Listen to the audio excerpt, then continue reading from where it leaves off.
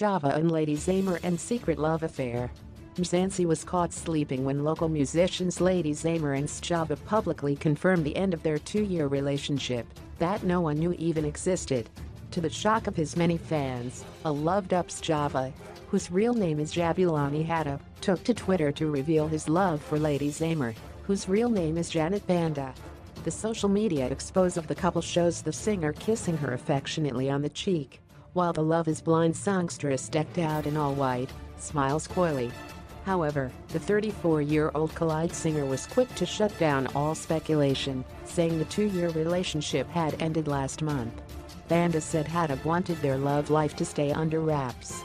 In a tweet she said, yeah we dated from June 2017 and ended things in March 2019. That's all so y'all can stop with the questions.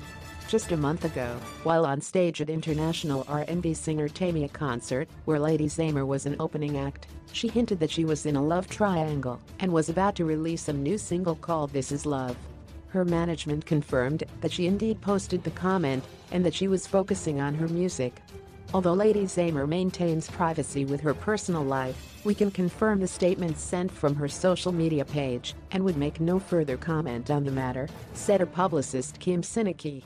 Lady Zamar is currently focusing on her music and her new single This Is Love, she added. Sjava said his account was hacked and it was not him who posted the pictures.